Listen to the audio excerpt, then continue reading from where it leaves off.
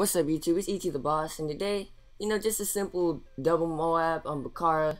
Uh, I started each streak off when I get my specialist bonus, I think I'm gonna do that from now on with my doubles, unless it's like a really fast double, you know, if it's if it totals to like 4 minutes or something.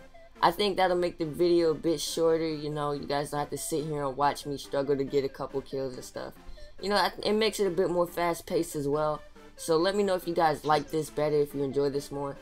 But what I want to talk about is I, I feel like there's going to be an actual skill gap in Advanced Warfare because with all that jumping around and dashing and whatever the fuck, cloaking and all kinds of crap, like if you come in as a noob and you don't know what you're doing, you will get wrecked.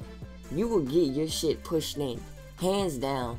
Because with all that jumping, I'm telling you, bro, we, you're gonna run into some lobbies where kids are literally just launching themselves into walls, like not even realizing what they're doing.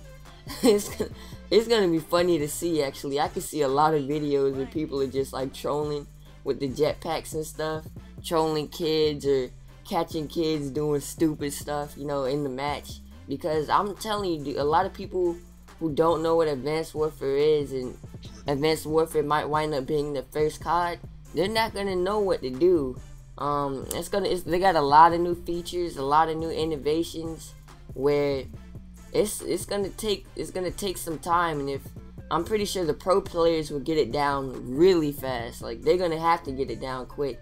So they're probably gonna be legends at the game in the first week.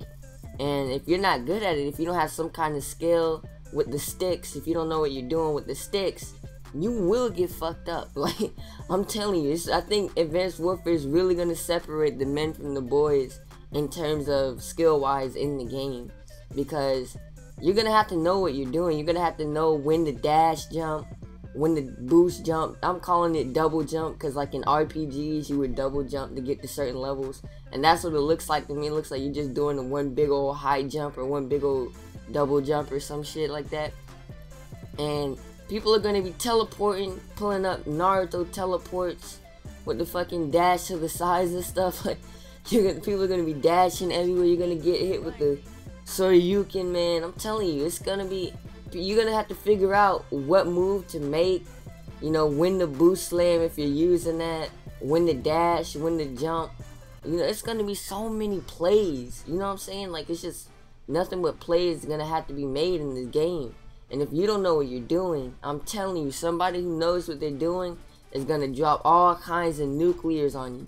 Like it's gonna get nasty. I'm I, I can I can I can imagine seeing pretty high score lines if people get a noob enough lobby. I can imagine people getting hundred pluses easy with against some noobs. Like, cause they're not gonna know you you're out there. You're dashing on them. You're double. You're you, you're whipping out that cloak at the right moments. You know, you're hitting them with that Exo shield. If they don't know how to maneuver around that, you know, you're doing all this stuff. You're whipping out the skills, and they're just like, "The hell is this man? Superman? is this dude Iron Man or something?" And you're just going to town. Like I can see if you're a good player in AW, I think you're gonna be rewarded. I think I think this game is gonna reward good players, especially with all these new innovations. Because these past few cards, like take MW3, MW3 is probably the least skill-based COD I've ever played. Um, there is there's almost no skill gap in this game, especially with death streaks. Death streaks almost take away the, the skill gap. Unless you're playing competitive, then that's banned. But this game is probably probably the least skill-based game of any Call of Duty out uh, ever made. Probably, I, I'm I'm gonna assume it is. Maybe MW2. Um, not sure, but this is definitely at that at the top of that list. So I think Advanced Warfare, you're gonna need some skill to do well. So look forward to that if you're a good player. But hopefully you guys enjoyed this video. I'm ET the Boss. Stay bossing, fam.